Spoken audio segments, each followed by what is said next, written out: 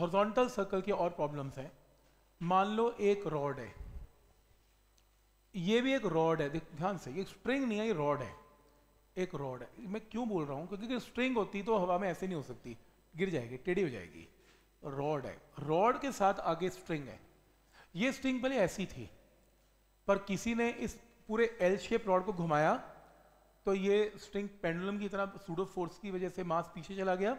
क्योंकि रॉड को तो मिल गई सेंट्रीपिटल और मास को मिली सेंट्रीफ्यूगल तो उसे गोल घूमना शुरू कर दिया कुछ ऐसे राइट और इमेजिन करना और कर लो, आप कहीं मेले में जाओ तो वहाँ ना वो घोड़े होते, घोड़े वाला झूला होता है एक, शोले मूवी में जो होता है यूज़ वो जो गोल गोल घूम रहे होते हैं, कहीं भी जाओ, देखना ध्यान से तो होली के दिन यूज़ करते हैं उसे तो बेसिकली क्या है कि बच्चे जाते हैं, वो घोड़े पे बैठते हैं और रॉड पकड़ के बैठ जाते हैं, छोटे बच्चे, है ना? एक पूरा वो होती है बहुत सारे घोड़े से होते हैं हॉर्सेस या डक्स जो भी हैं, उस पर बैठ जाते हैं और फिर वो इकट्ठा पूरा डिस्क की तरह मूव करता है। फिर वो जो वो जो उसका रॉड होती है ना, वो जब मूव करता है तेज़, हल्की सी ऐसे हो जाती है। जब स्लो है ऐसे हो जाती है, ऐसा हो जाता है, ऐसे घूमते हैं वो। और इमेजिन कर, और बड़े झूले देख लो, जो हवा में बहुत ज़्यादा पहले ऐसे आपको स्ट्रिंग के साथ लटका देते हैं, हवा में पैर होते हैं, फिर जब वो तेज तेज घूमती है, आप ऐसे हो जाते हैं। बाहर सेंट्रीफ्यूगल फोर्स बाहर हो जाओ और आप ऐसे लटके रहते हैं। वो जितनी स्पीड स्लो करेगी, आप अंदर आएँगे, तेज करेगी, उतनी बार जाएँगे। ऐसी है। समझो, ये वही झूला है स्ट्रिंग ऐसे थी, आप घूम रहे हो तो आप थोड़ा टेढ़े हो गए। अब आप कैसे घूमेंगे? आप ऐसे घूमेंगे। ये देखो, ए, ये रॉड है, ये रॉड यहाँ भी आएगी, ये रॉड यहाँ भी आएगी, ये जो स्ट्रिंग है, वो यहाँ पर भी ऐसे बनेगी, और ये मास इस इतने बड़े सर्कल में घूमेगा। कोई डाउट है इसमें?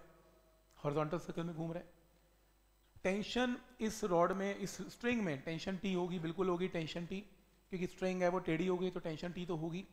रूल नंबर वन ये बताओ, ये मास कितने रेडियस में घूमेगा? इसका रेडियस क्या है? ये रेडियस है। ये रेडियस क्या होगा? एल की फॉर्म में। L plus L plus L two L ये तो समझ में आता है कि एल है। ये तो एल है। ये कितना है? एल तो नहीं है। तो ये राइट एंगल ट्राइंगल बना हुआ है।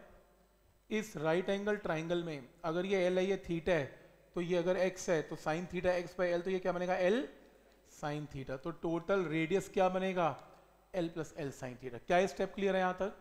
टोटल रेडियस की वैल्यू यहाँ पर L plus L sine theta online clear है?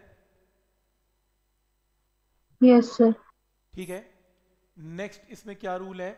ये स्ट्रिंग में आ जाएगी टेंशन टी इस स्ट्रिंग की क्या हो जाएगी? टेंशन टी तो अगर ये थीटा एंगल है तो स्ट्रिंग की प्रॉब्लम कैसे सॉल्व होती है? थीटा थीटा ऑल्टरनेट तो टी कॉस थीटा। और यहाँ पर टी साइन थीटा। और ये वेट कितना? एम जी वही same old story T cos theta is equal to M G और T sine theta acting toward centre and is providing centripetal तो यहाँ पर ये देखो, ये सेम डायग्राम बनाया मैंने। T T cos theta T sine theta, weight M G T cos theta M G T sine theta toward centre और radius क्या है? L plus L sine theta. तो T cos theta is equal to M G T sine theta toward centre M R omega का square इन्हें divide कर लें, आपको omega निकालना है. डिवाइड करके साइन अपॉन कॉस क्या हो जाएगा? टेन यहाँ से ओमेगा स्क्वायर से ओमेगा एक तरफ़, बाकी टर्म एक तरफ़ तो ओमेगा की वैल्यू आ गई. कोई डाउट इसमें.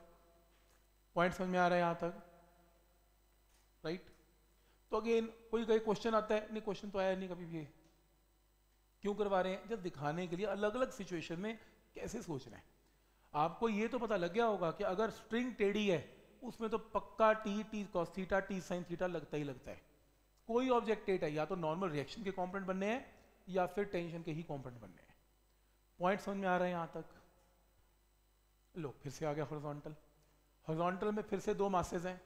दो मासेज हैं और ये रॉड है रॉड में टेंशन है, ये एक्सेस पे ऐसे घूम रहे हैं, इसका ओमेगा निकालना है अब इस मास का रेडियस क्या है बोलो? एल और इसका रेडियस भी क्या है? एल ये मास घूम रहा है विद ओमेगा ये मास भी घूम रहा है विद ओमेगा दोनों का ओमेगा तो सेम ही होगा, ये जिससे रॉड से कनेक्टेड है। तो इसको कौन सी फोर्स इसमें फ्रीक्वेंसी निकालनी है घूमने की एफ़ निकालना है। कौन सी फोर्स क्योंकि ये सर्कल में घूम रहा है तो इसके पास कौन सी फोर्स होनी बनती है? सेंट्रीपिटल और आपको क्या लग रहा है, कौन प्रोवाइड कर रहा है सेंट्रीपिटल टेंशन टी प्रोवाइड कर रही है सेंट्रीपिटल टेंशन टी की वैल्यू क्या होगी? एम एल ओमेगा का square tension toward centre and is providing centripetal M L omega square omega क्या होता है? टू पॉइंट टू फ्रीक्वेंसी तो टू पॉइंट टू फ्रीक्वेंसी का स्क्वायर यहाँ से सॉल्व करके फ्रीक्वेंसी का स्क्वायर आ गया अंडर रूट लेके फ्रीक्वेंसी आ गया आंसर तो ऑब्जेक्टिव मार्क कर लेना अगर ऐसा है, आप कहोगे, सर, ये इक्वेशन तो एक ब्लॉक के लिए लगी.